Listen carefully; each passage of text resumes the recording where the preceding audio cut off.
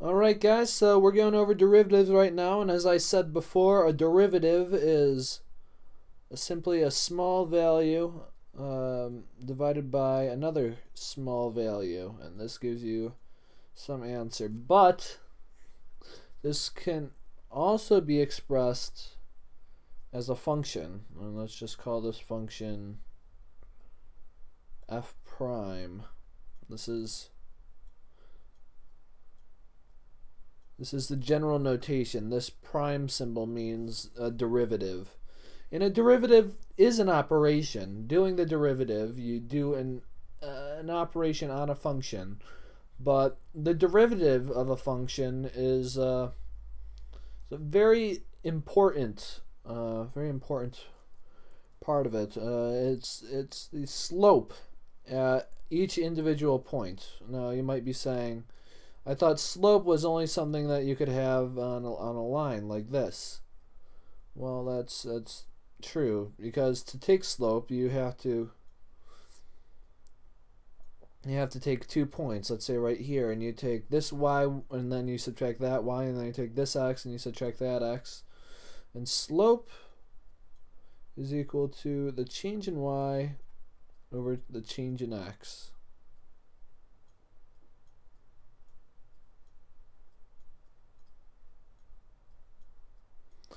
But what if we did the same thing over here? Let's say we took two points that were pretty close together, like let's say right here and right here, right? And then we kind of drew a line like this. There. Alright, then, then here, let's uh, continue it this way. All right, this is from right here to right here, kind of an average slope. How how much it kind of average.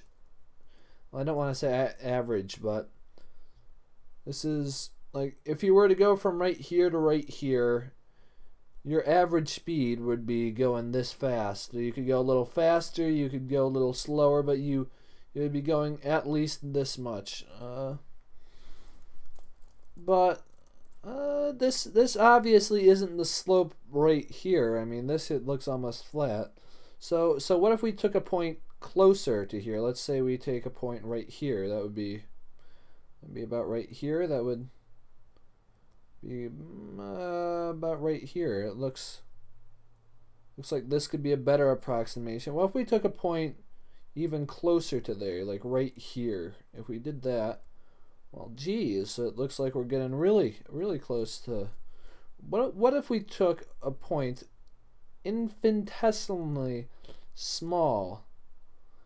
Well, then we would have a slope like this uh, between two points. And that slope right there, this is equal to the tangent line right here. So, a slope in calculus for a curve is what we're going to define as the slope of the tan line. And the tan, I don't mean the tangent function, I mean the tangent of a curve. So right here, this would be the slope of this point right here. And we could we could find whatever that is.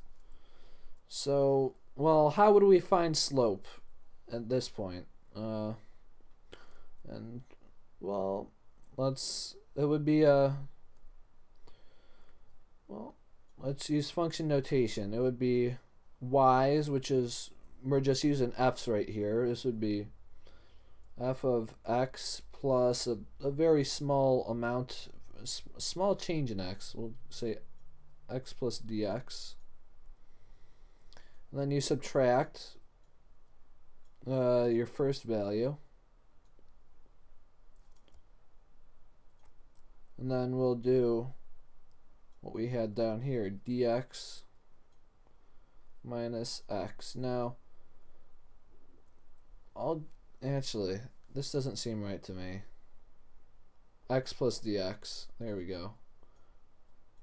This is the same as doing change in y over change in x, and as you see right here, the x's right here actually cancel out. Oops. The x's here cancel out. I'm just going to change colors randomly. So we're just left with a dx on the bottom. And this is essentially how you take the derivative. Uh, I'm going to go over that in a later, this definition of the derivative. But right now I'm going to show you how to take the derivative of most functions that you're going to come across. Now, for any function, let's for any power function that is, or actually let's start with an easy one. Let's say you start out with a function that looks like here this is a pretty bad set of axes. Let's say you have a function that's just y equals 5. Alright, so this is at 5. Well, what's the slope for any point in this? Um, what's the change? Well, it doesn't change at all. So let's say that the derivative of x for any constant function is 0 and f of x in this case is constant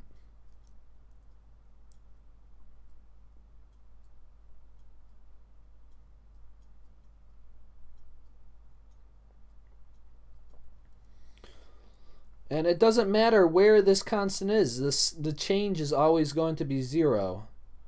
Well, let's let's draw another set of axes. This time actually good.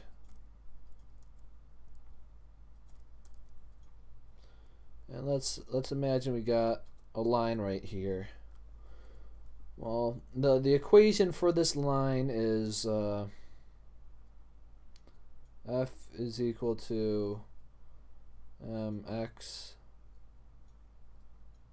plus b, right? Uh, so the equate the the change in this line everywhere is this value right here. So we could say f prime of x is equal to m. So of any linear function, the slope right here, the coefficient in front of x, is going to be that. Is going to be the, whatever the coefficient is. So, uh, I'll just tell you these next ones and see if you can get a pattern. Let's, let's say you got x to the third. This, the derivative, uh, I'm not going to use that. f prime here. Let's Let's let's make a table instead. That'll be easier to follow. Go f of x. We'll make a table and we'll give you f prime of x.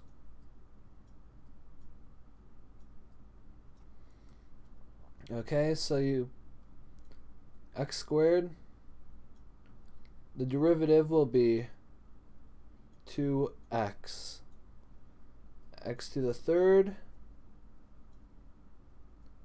3x squared. Let's go x to the 7th, just randomly. 7x to the 6th. Uh, I'm going to go over how I get this number in a later video. It's actually really interesting. But just trust me that these are the slopes for all these functions. These are, like, if you want to find the slope at say 7 for this function. What's the slope at 7 of the function x squared at x equals 7? Well, this says that the x, you just plug in right here, the slope is 14.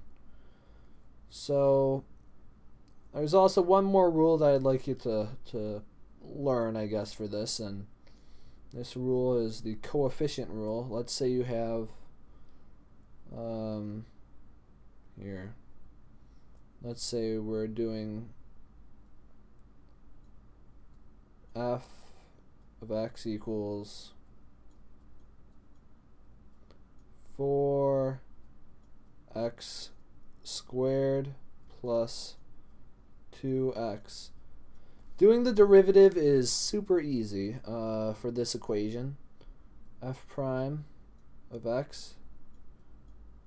Now, we know what the derivative of x squared is, but we don't know what the derivative of this function is. And I'm going to tell you right now, you can break up the derivative by pieces if, if you're adding. You can also kind of break up the derivative if you're multiplying by a coefficient. Because you can take out that coefficient. This will be equal to 4 times the derivative. And this is also a symbol for doing the derivative of x squared plus 2 times the derivative of x. And we know what the derivative of x squared is. It's just 2x. So this would be 8x. And we know what the derivative of x is. Uh, like I said, f prime right here, it's just the coefficient right here. And the coefficient right here is 1. So you can just have the 2 right there. So you can I hopefully see how you can get that done. I might be going a little bit ahead of myself. I don't know. I just, in my head, this is how it makes sense. Next episode, I'll be teaching you kind of the, the math behind, well, how do you get from right here to right here. Uh, thanks for watching, and I'll see you next time. Bye.